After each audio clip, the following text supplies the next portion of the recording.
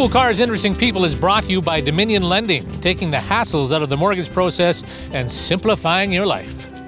It's Cool Cars, Interesting People. Today we talked to former Mayor Rajko Dodic. Last I heard, he left Lethbridge and he went touring with rock band Hollerado. We'll find out if that's true or not, or if it's the fake news. We'll talk about that. Right now, we're at McDonald Nissan. Rob Thompson joins us here. Hey, Rob, you're, you're our first guest ever on this show. Absolutely, yeah, right. Wow. That's the second time around, isn't Wow, it? How does it feel? It feels great. Fantastic! You got a new car. No, this is this is a beauty here. This is the 2017 Armada. Tell us about what the Armada uh, is all about.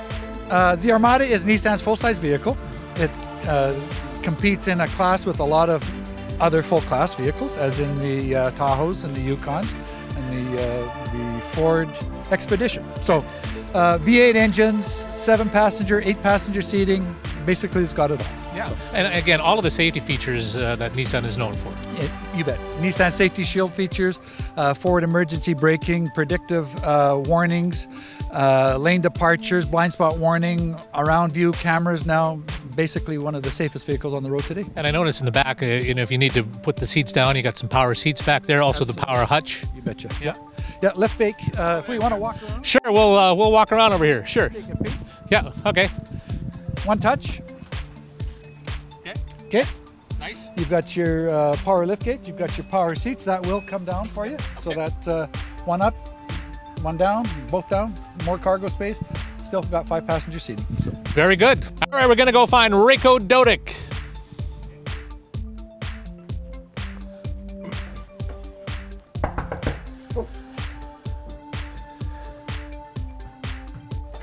You are here. I am here. Mark Campbell, Cal Surprise.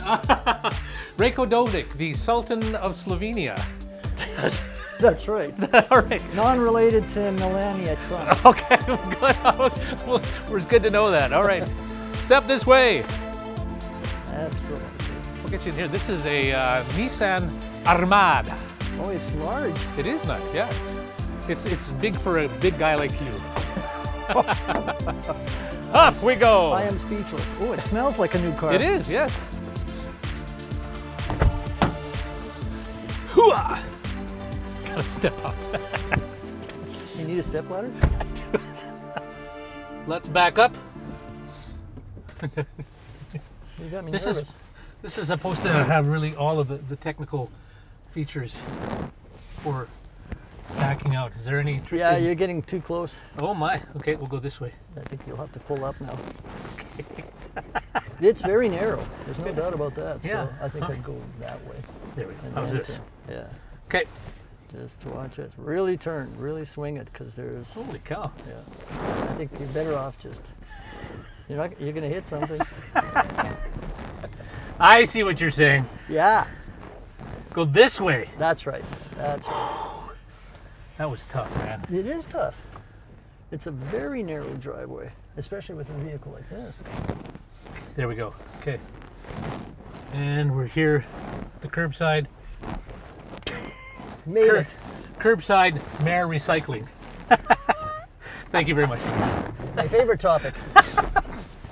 Okay. Yes, should recycle politicians, not not curbsides.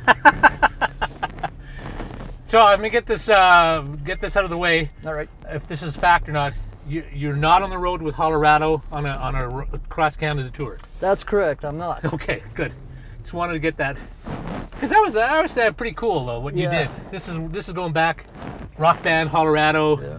You you're a guitar player. They you got to play with them. I got to That's- play with them twice, Yeah.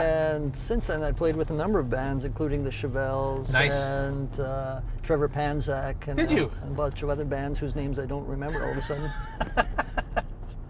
all of them famous. yeah, exactly. But how? But that's you know that's kind of a nice release though, getting away from all of the whole life that you normally lead with politics and being a lawyer and all that, and just to get on and play music is just it's for everyone, isn't it? Oh, it was great. The last time I, uh, when I played with Hollerado, it had been 30 years since I played publicly, and I was Really? in, a law school band. We had a little law school band. uh, we played Rolling Stones, a little bit of Led Zepp, Neil, Wow.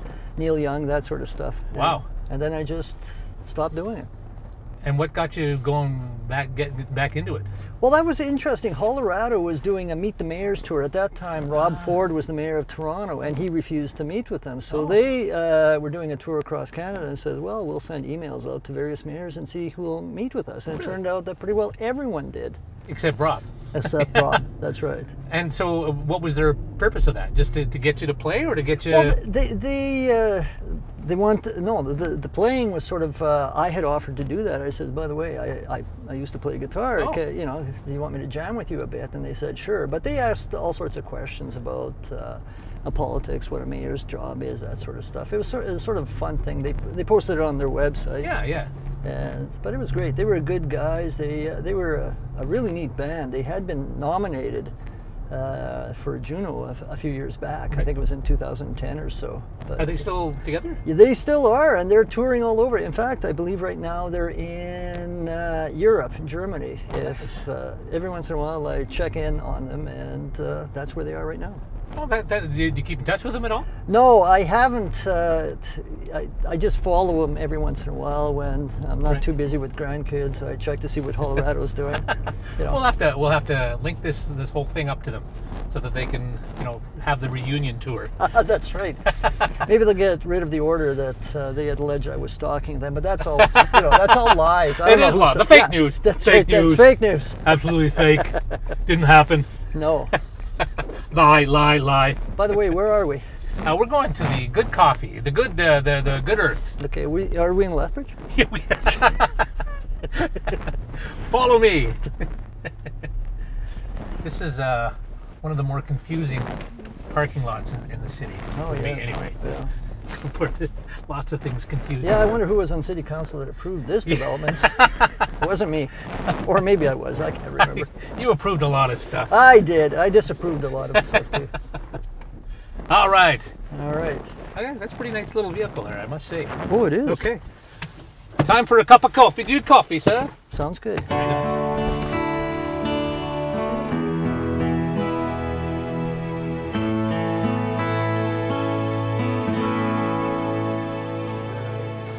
Right, so you're not on the road with Hollerado. Nope. What? Okay, so what has it been? What's been three, four years? Four years since It'll you. be yeah. It'll be four years in the- October yeah. because of the four-year terms. yeah. Yeah. So what? Uh, what goes through your mind over the last, or what has been going over your mind in the last few years since you were mayor? Oh, okay. Like so, the day you walked out the door, was it sort of a, well, it, or, or it- how was that? It, it, was a it, it was a bit of a relief, I have to say that. Yeah. But uh, the interesting thing is, the day before my term officially ended is when my first grandchild was born, Oh, okay. uh, Charlie, who's now three years old. And then a year and a half later, the second one came in. But uh, you know, it's leaving the office. I enjoyed the job of mayor. Yeah. I didn't enjoy. I guess the uh, going to Politics. the politics of it and, and going to every event Yeah. uh, uh, under the sun. You know, I think gets- I put on gets- 40 pounds. You yeah. know, I was almost 200 pounds by the time I left. You know, I was going, geez, I look like a Goodyear blimp. Yeah. But I mean, that's part of the that is part of the job, though, right? You you and you should go to all of those things. Yes. Well, you know, you get so many invitations. Sometimes it's really hard to choose and pick. So my attitude was, whoever asked first, I said yes. Yeah. And then I had to say to the other people, say, look, I already said yes to something. Yeah. But I, I understand it's part of the job. Sure. But uh, really, I enjoyed the, the work of being mayor, Right. not the uh, politics of being mayor, as you put it. Now you um, you were you were a councillor for two year two terms, right? That's right. What made you decide that the counselor is just not enough? I need I need, I need more banquets. You know, you know, I wish I could say that there was a good reason, and because I really enjoy being an alderman, because it's uh, it's truly a part-time position in the sense that, at least when I was doing it, uh, uh, 30 hours a week, and that includes prep time, meeting time, and everything else, was more than enough to do the job. I don't think it's changed that much uh, now, but. Uh, Really, there wasn't uh, anybody stepping up, uh, even from Bob current Carnick was- council. yeah, was- so nobody was exp- really expressing an interest in it. So I said, well, you know, I'll, I'll give it a shot. Yeah. Uh, you know, and then of course I heard that you were running, and uh, turned out to be an April Fool's joke because right. I was I was ready to withdraw and let you have the job, and you could be 300 pounds now. Yeah, that's right.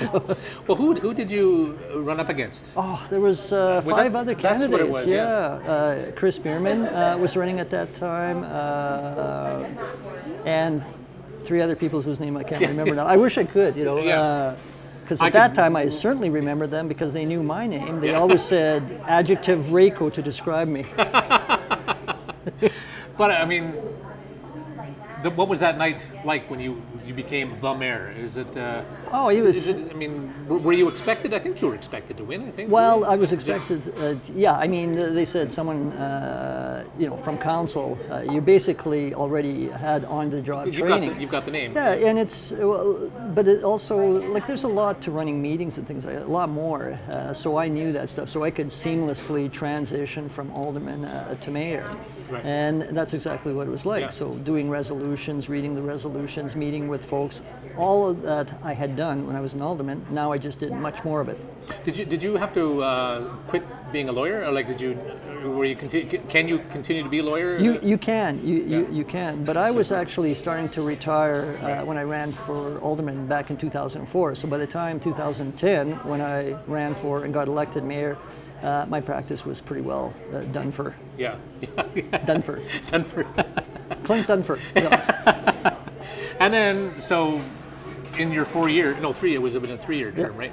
What were what were some of the, the big moments? And I know you've probably done this at the uh, end of the end of the year interviews that you always had to do. But what looking back, Well, there- happy with what you did? Oh yeah, Yeah. yeah. there, there was a lot of things that uh, you know. There were big picture items like uh, you know more development uh, on the west side and on the south side, opening up various uh, tracts of land uh, for development. But even uh, things that were sort of more on a smaller scale, like uh, working to tear down the atrium that had been in downtown Lethbridge for 30 years. You know, that was a resolution that I drafted. You finally got it done. I Yeah. finally got Wow. it done, and then also a list of ho- houses that had been uh, halfway through construction. So those are more of the small item stuff, but the big ticket items were uh, trying to address things like asset-backed commercial paper, where everyone said Oh, we right. lost 30 million dollars, and then just a couple of weeks ago, uh, it was reported that that's. Uh, 27 of the 30 million dollars was recovered. Yeah, yeah. So there was uh, there was highlights, there were lowlights, there were Is, is being a lawyer an advantage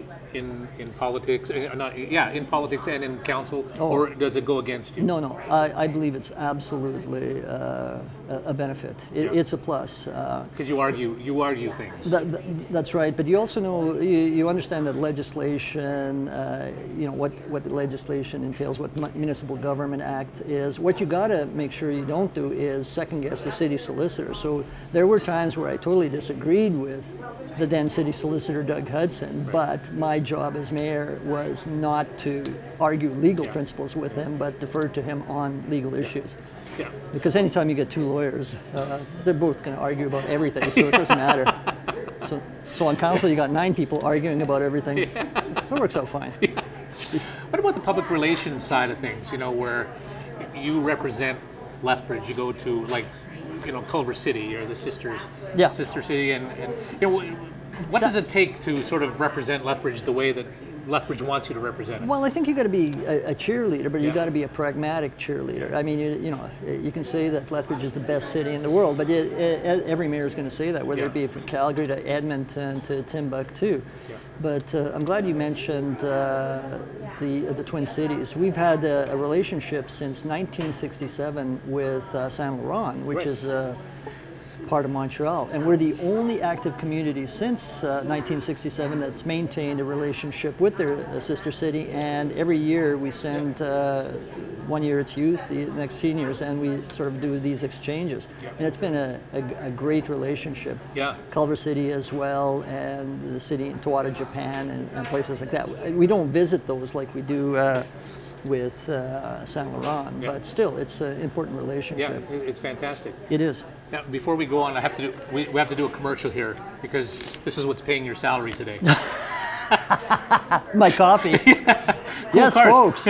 interesting, cool cars, interesting people is brought to you by. Dominion Lending, taking the hassles out of the mortgage process and simplifying your life. With access to more than 230 lending institutions, including big banks, credit unions, and trust companies, our licensed team, or their licensed team, of uh, mortgage professionals is familiar with a vast array of available mortgage products, ranging from first time home buyer programs to financing for the self employed to financing for those with credit blemishes. Call 403 308 6164. And from the President of the United States, Hallmark thumbs up, I wholeheartedly endorse this company. Approved? Opposed? We're good. well, since you brought it up, Yes. Now, uh, the one thing I, I think of, uh, you know, Donald Trump and uh, this whole immigration thing that's been going on. Yeah. You're an immigrant here, and, Yes. and I, I have to say that you spoke when my wife got her Canadian citizenship, which was and it was was great, fantastic. Your speech, I mean, so you know, address address what's going on right now in in, in what Trump is saying, and you being a, an immigrant. I mean, it's a different country, but it's the same idea. Okay. So what's what's your? I mean, obviously you're not a big fan. No, I'm, I'm going to start with the premise that young kids may be watching this, so I won't use the words that I really would use to describe uh, Yeah. the travesty that Donald Trump is. Uh, I was shocked, like many people were, that a man who uh, gets three million less votes than his opponent Right. uh, actually becomes the president of a country that is uh, widely considered to be one of the most powerful countries in the world. But his comments uh, with respect to race, with respect to uh, immigration, with respect to how he treats women, uh, everything that the man does is antithetical to what Canadians are, in my view. So uh, I- I, I find it difficult to explain in words how absolutely horrified I am that our closest neighbor, who you had great relationships with, could actually elect like a man like that to be the leader of their country. Uh, I, I, it's, it's not good for the world, and you can see that right now from all over the world, from England to Sweden to Germany to uh, France. Uh, there's protests against him, and those protests, in my view, are legitimate. Right. So. And they still can't find ABBA.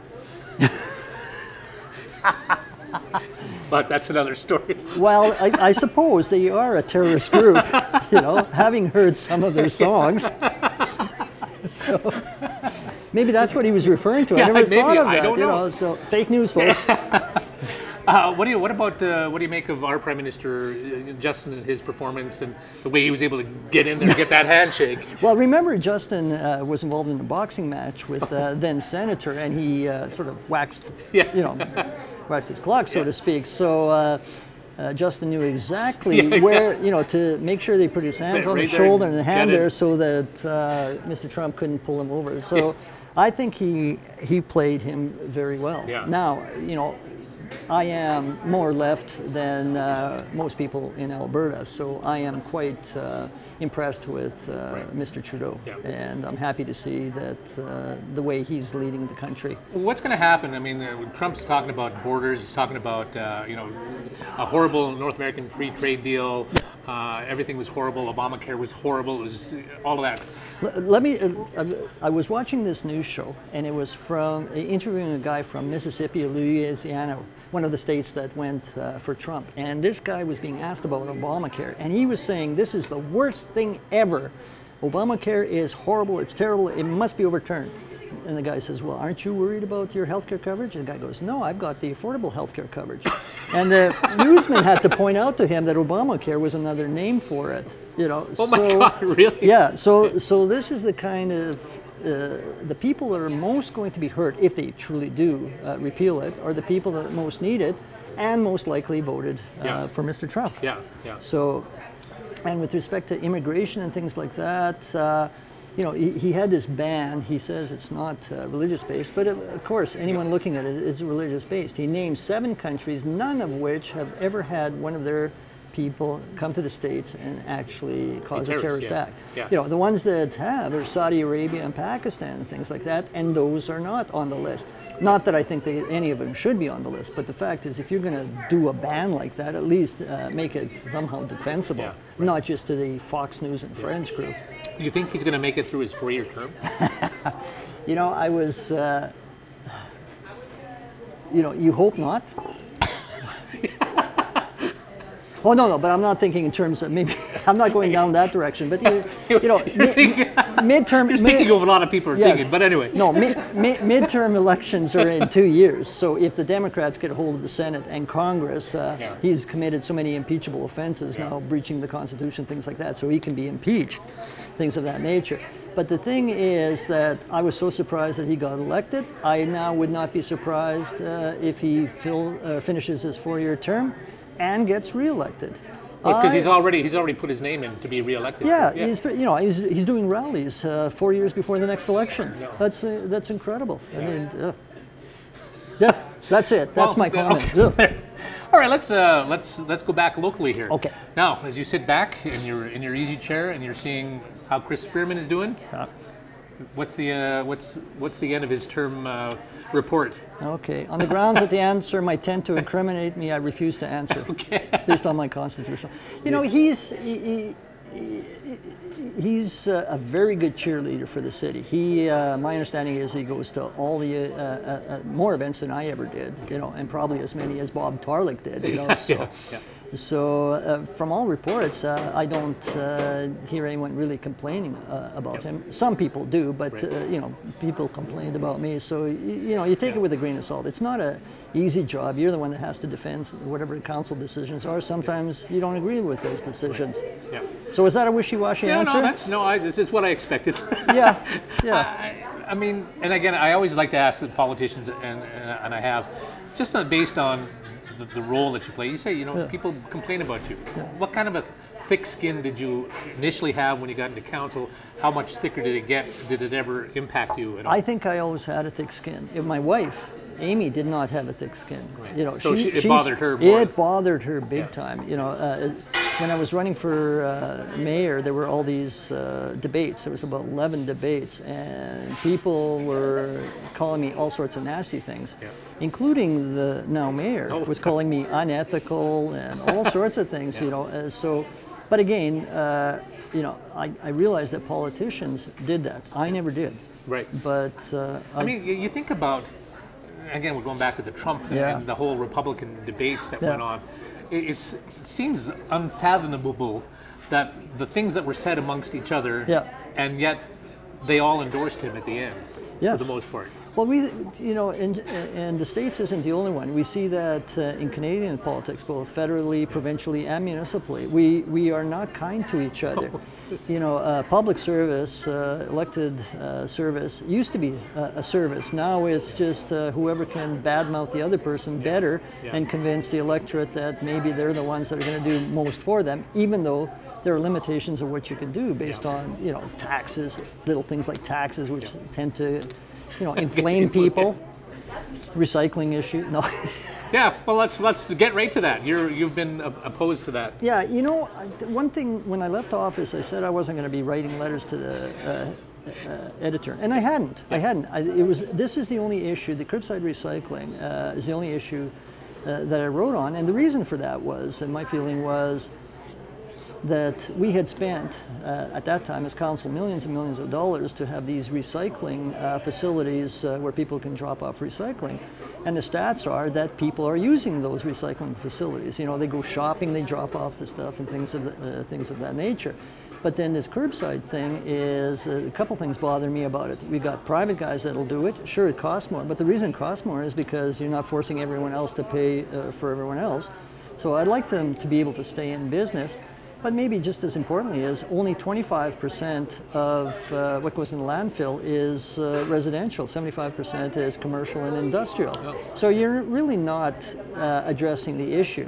You're just getting another bin. And by the way, 30,000 bins. Do you know how much plastic that is and how much uh, that affects the environment? I mean, but the reality is, I'm more concerned about the uh, private guys who Right. had this recycling uh, business Yeah. in place. Some of them who have actually, my understanding is, have added to their capital assets. Uh, because the last time the council voted and said they weren't going to do it, they said, "Well, it's, it's Yeah, over now." So and then a year later, "Oh no, we changed our mind." Yeah. That's Yeah. what bothered me. Right. So, Yeah.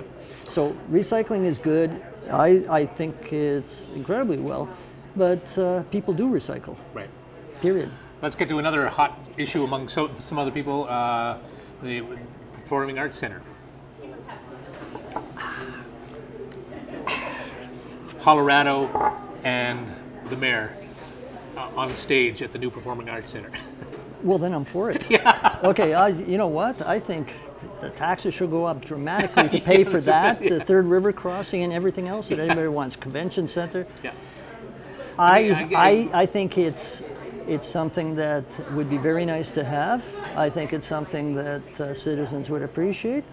But uh, there's a limited amount of money that's available to fund community projects. When uh, David Carpenter was the mayor, he started this program that said, we're not going to build community facilities until we have the money to pay for it.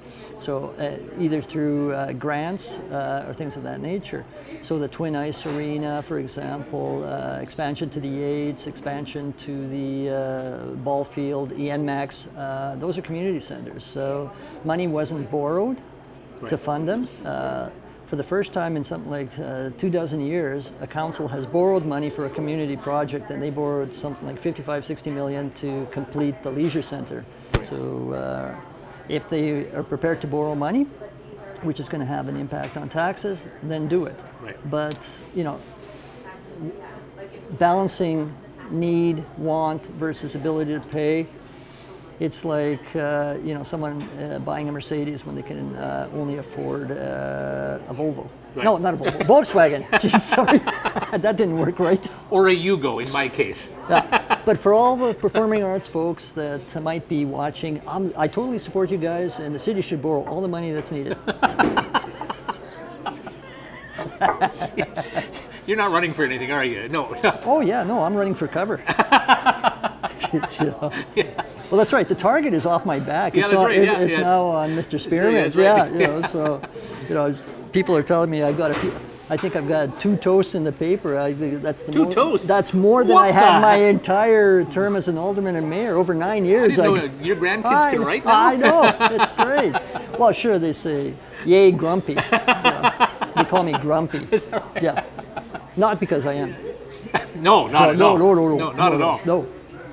Do you? Uh, like what what is your state of mind right now since you've more or less retired? I mean, is it, is it all about enjoying things? Is it, I mean, what what, what oh, gets you going oh, in the day? Very much so. Actually, uh, I probably uh, practice guitar anywhere between two and four hours a day. Really? Oh, yeah. Wow. So uh, my proficiency is uh, really getting up there. Yeah, so. Good, good. So if anyone's looking for a guitarist and realize the guy that's approaching 65 years of age might not be uh, too old, remember yeah. the Rolling Stones are all older than hey, I am. Absolutely, yeah. Uh, Chuck the, Berry's still alive. The gra- Is he? yeah. I was wondering who that was. Yeah, yeah. I thought it was Roy Orbison.